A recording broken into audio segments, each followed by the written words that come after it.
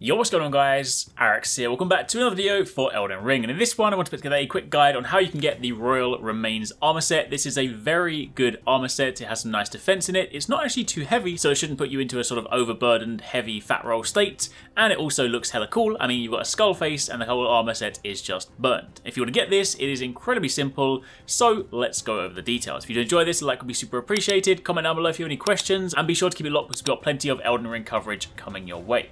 So in order to get this, firstly you need to go to the village of the Albinaurics. Now if you have the waypoint already, you can simply fast travel there. If you haven't been there yet, then the easiest thing to do is go from the Folly on the Lake site of Grace, located over here.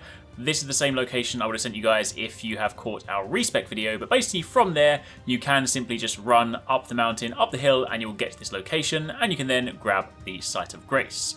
Once you've done that, all you want to do is, from that Site of Grace, run straight up the hill. There's a first enemy here you can then kill, and then after that, there is a pot which you need to smash, and upon smashing that, you can then take out this enemy here who's hidden inside the pot, and you will get the Haligtree Secret Medallion right. I don't actually know whether you need to kill him, whether you can just like smash him out the pot and then speak to him, but because I got a little bit overzealous and I basically hit the pot too many times, I already hit him when he basically came out and he became aggressive and then he didn't like me.